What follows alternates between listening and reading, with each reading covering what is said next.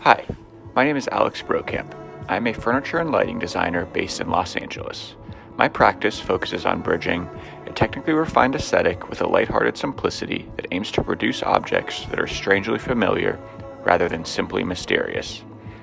I studied industrial design at the University of Cincinnati and received a master's degree in furniture and lighting design from the Art Center College of Design. While at Art Center, I was awarded the Helena Balfour Edwards Scholarship. Some of my past professional experience includes internships at Mattermade Studio and Brendan Ravenhill Studio. After graduating from the University of Cincinnati, I worked as a design and production manager for the artist and designer Andrew Neyer. My work has been featured in numerous publications and been exhibited internationally. This past September, I was one of six American designers selected to showcase their work in the Rising Talents exhibition at Maison Objet. I also was a part of a group show at Gallery Joseph titled American Design in Paris.